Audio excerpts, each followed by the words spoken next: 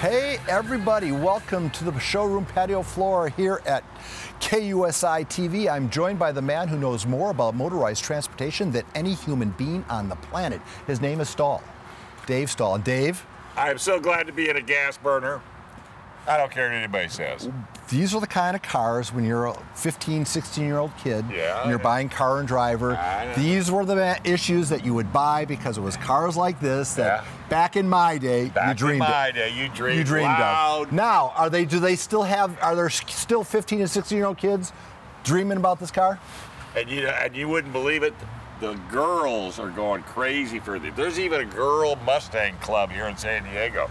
And I had a girl here the other day just ordered a Dark Horse, which is a limited edition Mustang.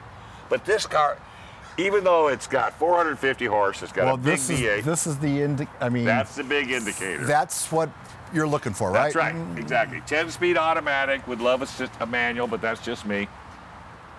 This thing's got plenty of horsepower, got plenty of get up and go, but when you're going down the freeway, it rides like butter. Independent rear suspension. Which which you couldn't always say about the Mustangs of the past. No, no, you couldn't because it was either a race car or it wasn't a race car. Or you know, then they would sm- soften it up with the four cylinder, and, and then with- yeah, or the six cylinder. Yeah, Remember the straight yeah. six with a two Right. barrel?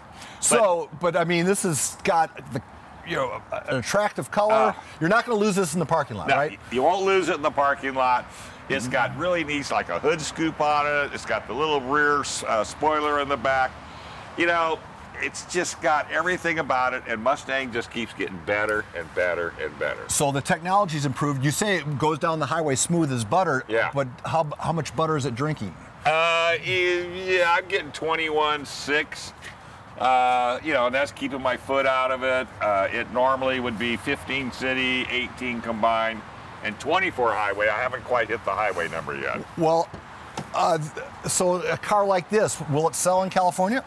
Oh yeah, these things sell like crazy. People love these things, especially with the newer uh, body style. And you know, Mustang just keeps getting better and better. And if you're into a muscle two-door car, this is going to be it, because Chevy's stopping the Camaro and Stellantis is stopping the uh, Charger and the Challenger. All right. So how much money are we putting down to get into something like this? Actually, I was kind of surprised. 46.15 you got to kidding me.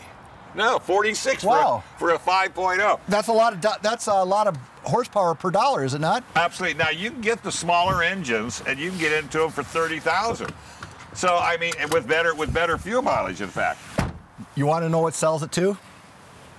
You think? Hang on. Put your foot on the brake. Hang on. Right?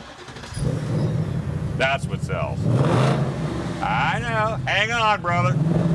Uh, Ba- hey, what, what else we need? Turn it on, but bang Olufsen sound system. Oh, look at that. Look at that. Did I plan it or what? Should we go, should we take it on down the highway? I think you should take it on down the highway. Put that bad boy in gear. All right, we'll be right back with more Good Morning San Diego.